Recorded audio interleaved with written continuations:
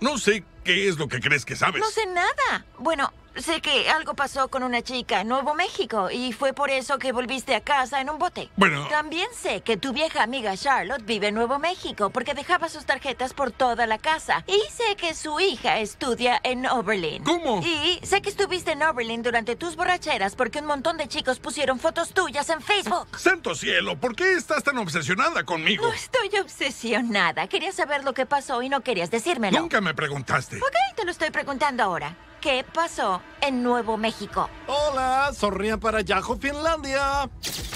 Oye, Dayan, lo que no entiendo es por qué sientes que mereces saber cada cagada que he hecho. No merezco nada. Solo quiero saber cuando hagas alguna cagada. ¿Por qué te importa? Porque soy tu amiga y porque me preocupo por ti y porque escribí un libro sobre ti y ahora escribí este show para ti y porque soy tu amiga públicamente y si se sabe que has hecho algo raro, eso me haría ver muy mal. Oh, entonces te preocupa que haya hecho cosas malas. ¿Por qué crees que eso te perjudicaría a ti? ¿Mancharía tu nombre? ¿Acaso te sientes superior? Se trata de ser moralmente superior. ¿Quieres saber sobre Nuevo México? Y acerca de la única cosa que hice en Nuevo México, la que por cierto ni siquiera fue una cosa. ¿Sabes qué? No me interesa. No, voy a decírtelo. Te diré lo que quieras. Y ya que estoy en eso, ¿quieres saber lo que pasó en MTV Beach House? ¿O por qué me prohibieron volar en United? ¿O qué pasó con Sharona, la maquilladora de Retosando? ¿Qué? ¿O la otra docena de cosas raras que pasaron o no en mi vida y que apenas recuerdo porque estaba drogado o borracho o porque fue hace 30 años? Y no te sientes mal por nada de eso. Sí, claro que sí. He pasado mucho tiempo sintiéndome mal. Por cierto, la mayoría de esas mujeres ni siquiera me recuerdan, te lo apuesto. Vaya, qué conveniente para ti. Yo soy quien tiene que vivir con esta mierda. Yo soy el que se siente culpable todos los días, a diario. Así que tú eres la víctima aquí. Sí, y sé que esa no es la forma consciente, progresista e interseccionalmente apropiada de decirlo, pero sí, soy quien ha sufrido más que nadie por las acciones de Boya Horseman. Tú has sufrido. Así es. ¿Más que nadie? Más que nadie. ¿En serio?